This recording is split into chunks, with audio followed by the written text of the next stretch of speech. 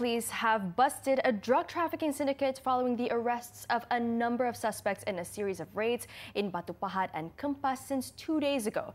Johor Police Chief Datuk Kamarudin Mat Din said seven suspects, including three women, two of them Vietnamese, were arrested. Uh, pihak JSJN Johor telah melancarkan uh, 8 serbuan di sekitar Batu Pahat dan juga di sekitar kawasan uh, Kempas Johor Baru. Hasil daripada serbuan tersebut, uh, pihak uh, JSJN Johor telah berjaya menangkap empat lelaki tempatan, satu wanita tempatan dan dua wanita warga asing dan turut merampas berbagai jenis uh, dadah dan juga telah merampas pucuk pistol bersama kelopak dan peluru hidup.